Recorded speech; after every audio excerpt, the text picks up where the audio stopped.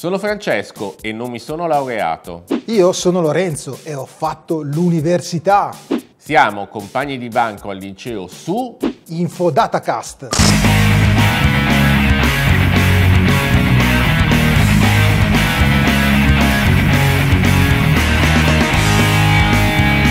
Francesco, dopo il liceo, sceglie di andare a lavorare subito. Lorenzo, invece, preferisce iscriversi a un corso di laurea e così entrerà nel mondo del lavoro con tre anni di ritardo. Posto che un diploma universitario permetterà a Lorenzo di avere uno stipendio migliore, quanto tempo dovrà passare prima che il suo reddito complessivo raggiunga quello di Francesco? Cioè, dette in altre parole, in quanto tempo si ripaga una laurea? Qual è il break-even point, come dicono gli economisti, di un titolo di studio? Precisiamo subito che non è possibile dare una risposta univoca a questa domanda.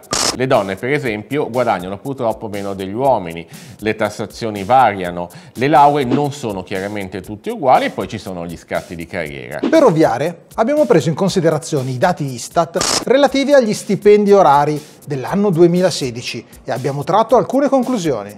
Ebbene, ciò che emerge da questa simulazione è se Francesco e Lorenzo abitassero a Milano o a Roma, a quello laureato basterebbero meno di 10 anni per raggiungere quello non laureato.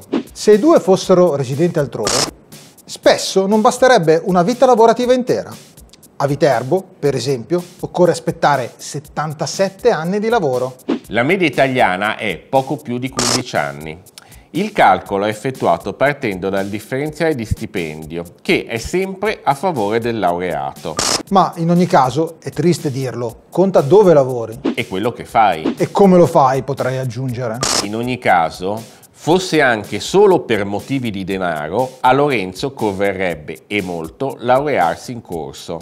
In ogni caso io non sono Lorenzo. E io non sono Francesco.